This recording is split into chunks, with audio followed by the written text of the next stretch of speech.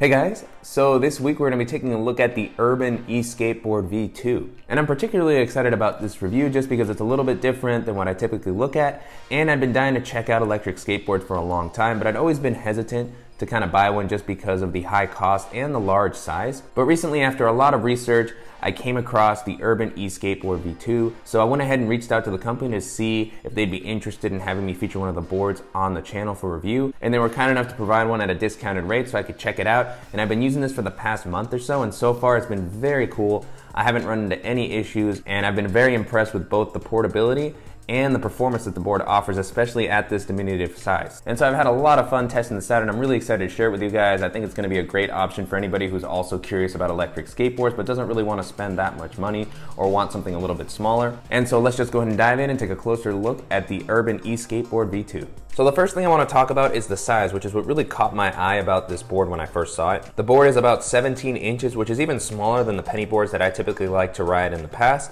And so here you can see a size comparison of this next to the penny board that I've been using the most recently. And so this size has been really fantastic for making it very portable, easy to throw into a backpack or to attach on the outside of a backpack using compression straps. This is what really made me feel like this would be an appropriate board for both travel and EDC use. And on top of the small size, the board is also very lightweight. It comes in at about seven pounds, which makes it very easy to just carry in one hand. As you saw in the intro to the video, I was holding it up and I didn't feel any sort of fatigue. And so that's really what made me feel like this would be a great item to maybe travel with. On top of the fact that it's small and light, it also has a 52.8 watt hour battery, which has been FAA approved. I haven't actually tried to travel with this yet, but as you can see, the battery is really not that big. And so on the company site, it does say that it's approved. So I will be hoping to travel with this at some point in the future. I'll make sure to update with any issues that I may have run into. But in general, just because of the small size, I'm pretty confident that I wouldn't have any issues getting around with this, especially on domestic airlines. And when I first saw the small size and weight of the board, I was a little bit concerned that it wouldn't be able to hold somebody of my size.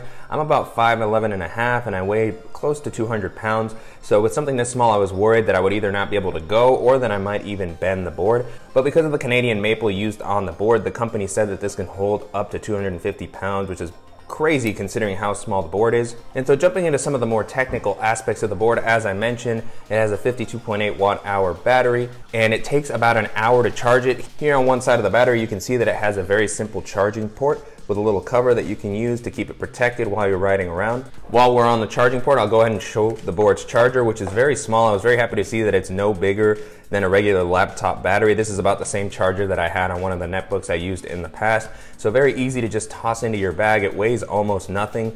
And it's great that the board can recharge to its fullest capacity in about an hour. So very easy to just ride this to a coffee shop or something, sit down to study, plug it in, and then you're ready to go by the time you leave. So Nice to see the portability not just of the board, but of the accessories. This definitely looks a lot smaller than the chargers I've seen on something like a boosted board. And so at its fullest capacity, the board is supposed to give you between seven to 10 miles of range. I think this varies very widely depending on your weight and how fast you're riding the board. There are three different speed modes, which we'll talk a little bit more about in a bit.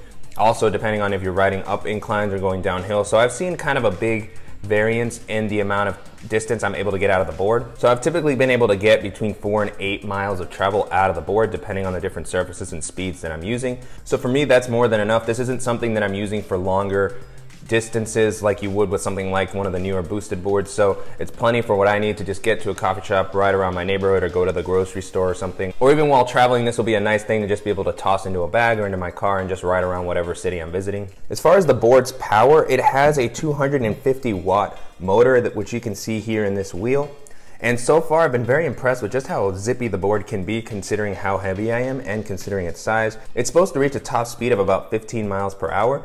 And when I've been riding on a flat surface, I've definitely gotten close to that point. Obviously, when I'm going uphill, it's much slower and so now that we're talking about the speed of the board, I might as well go ahead and jump into the remote. This is the included remote that comes with the board. It's very lightweight and simple. I like that it has a little tether so that you can wrap it around your hand so you don't have to worry about it falling while you're riding. The remote is very straightforward. It has a micro USB port for charging, a simple power button on the bottom, and then it has three different speed modes that you can use, a low, a medium, and a high. I found that the low was very, very low. So if you're a super beginner, you've never ridden a skateboard in your life, and you just want something very, very easy to kind of just start and inch your way into riding something like this, that's a good place to start. You can just flip the switch over It's very easy to tell which mode you're on. But this does move very, very slow. Even the medium was a little bit slow for what I personally like. I've been riding skateboards for a while, even if they haven't been electric, so I, I am pretty comfortable. So I spent most of my time here on the high mode, and I thought that was more what most people that have ridden this sort of thing in the past are gonna be using just because it's still not super speedy. It's not gonna be the super fast acceleration you'll find on some of the higher end boards that I've seen. It's enough to just get me where I need to go and I feel like I'm moving at a decent speed. And so using the board is very similar to what I've seen on other videos for different boards. You can push forward on the little joystick here to accelerate and to brake you pull back. The board also has the ability to go in reverse. So you hit this switch and clicking on forward, the board goes back. So it takes a little bit of getting used to when you're using the board in reverse, but it's still nice to have that versatility, especially if you need to turn yourself around, it's nice to be able to just maneuver a little bit easier going in both directions. There's also a few battery indicators on the remote, so if you're using this for a longer period of time, you kind of see this start to go down and you have an idea of how much life you have left. I also like that it's very easy to pair the remote with the board right out of the box. As soon as I turned them both on, it was ready to go. So very simple, very lightweight. It's easy to throw this into your bag or into a pocket even. And so showcasing the other side of the battery, you can see that it just has a very simple on and off switch with a little LED indicator for your battery life. As far as the rest of the components on the board, the trucks feel really solid. They're easy to tighten and loosen depending on your preferences for riding. The board includes a tool to loosen and tighten them if you don't have one already. And then the wheels so far have done a great job. I've gone over some pretty heavy bumps and rocks and I haven't ever noticed them getting stuck or beat up. They still feel like they roll very easily, nice high quality bearings used. I'll need to figure out how to clean these a little bit. As you can see, they pick up some dirt, so I'll have to take a look at maybe loosening them up and just making sure to keep this well maintained so I can keep using this over the longer term. And so next up, I just wanna showcase some footage of me riding the board outdoors. I tried to do my best, kind of Casey Neistat impression while riding around. And in general, as I've mentioned a few times, it's been a great experience to ride. I was able to hit a consistent pace of between 10 to 15 miles per hour on the high mode, especially riding on just flatter surfaces. As I was riding this downhill, you definitely picked up a lot more speed, but it was still very easy to maneuver the board. I was concerned that because of the size of the board, it would be a little bit unstable, but because of my experience riding penny boards, I didn't really struggle, and I think that if you don't go too, too fast, you shouldn't have to worry about running into too many issues with steering the board. I also have a pretty large foot. I'm an 11 and a half shoe, as you may have seen in some of my other videos, so one of my feet almost takes up a large portion of the board when it's horizontal, so for kicking off, it can be a little bit weird, but when I'm riding the board normally, I still feel plenty of stability just steering around corners. I feel like I'm able to make fairly tight turns. And I found the remote to be pretty responsive. One thing that I did notice is that the braking can be a little bit delayed. So if you're in a high traffic area, you do wanna be aware that you don't wanna be approaching corners or stops very fast because it sometimes takes a little while to stop. So as you can see in the footage, even when I'm not going that fast and I hold the brake completely down. I still continue my forward motion for a fair amount of distance, so it's good to either plan that out or even just jump off the board and grab it real quickly. So it's definitely something to be aware of. It's not gonna be a super fast stop, so you definitely wanna be careful as you're riding this around so that you don't possibly accidentally roll into traffic or hit somebody or even lose the board. And then one thing to note, of course, I would assume this would be the case with most electric skateboards, is handling inclines is gonna be a little bit of a struggle for this board, even when it's in its highest speed mode. I found that it was just barely able to inch up inclines of 10 degrees or so. So as you can see in the footage, there's a big difference when I'm not on the board, it can just zoom up there very easily, but once you add the weight, just kind of going up starts to crawl, the board's battery starts to beep a little bit to indicate the power just running down. So that is gonna be a little bit of a struggle if you live somewhere with a lot of inclines, it will have a pretty big impact on the performance of the board. Thankfully, where I'm at, there's not too many of those. But with all that being said, considering the price and the size of the board, I continue to be impressed with just how well it performs and how fun it's been to ride.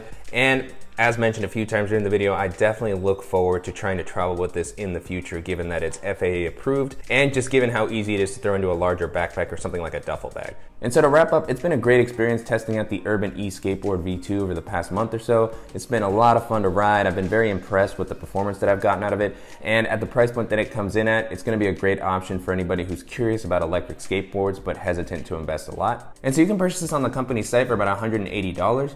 And I think that's a pretty reasonable price, especially after all the research I've done on different price points for different skateboards and ranges and whatnot. This seems to be a pretty good balance for the quality, range, and size that it offers. I've been fortunate to have been able to test this out for at least a month, and so far I haven't run into any battery issues. The motor hasn't died on me. It's still charging great, which are some of the more common issues that I saw on Amazon reviews for similar products. And I'll definitely make sure to keep testing this out and post any updates that I notice as I continue to use the board over more months or even a year. And the company offers a one year limited warranty, so if you run into any issues, they should be able to help you out. And if you're interested in a board of this size and you like the brand, they do actually have their original board, the V1, which is gonna be a little bit cheaper at about $150. It doesn't have the same power or range as this board, and it's gonna be a little bit smaller. But I'd seen some great videos for the V1, and that seems like that might be a good option as well if you wanna save a little bit of money. And so as I mentioned a little bit earlier in the video, this is just the first of a few reviews that I'm hoping to do for electric skateboards. The next one that we're gonna be doing is the Spectra from Walnut Technology and I'm very excited to kind of see how that compares to this board. And I'm really looking forward to hearing from you guys on what you thought about this review and what you think about me kind of branching out into some additional items such as this. I'm always curious to find new and unique gadgets that haven't been covered by too many people and just try to experiment with them so that you can get a good idea of how well they're gonna work. Even though I'm by no means an expert tech reviewer, it's always a blast to kind of branch out a little bit. I've had a lot of fun in the past reviewing products like the Blupot portable Bluetooth speaker and power bank, or even something like the Apple AirPods, even though they've got a lot of other reviews out there. I like to try to offer at least a little bit of a different perspective. So hopefully that's of value to you guys. And so I want to go ahead and thank the company again for providing the board for me at a discount. It's been an absolute blast to test out. And if you guys have any questions, please let me know in the comments below. And if you found this video useful, please give us a like. And if you haven't already, please go and subscribe so you don't miss any upcoming videos. And thank you guys so much.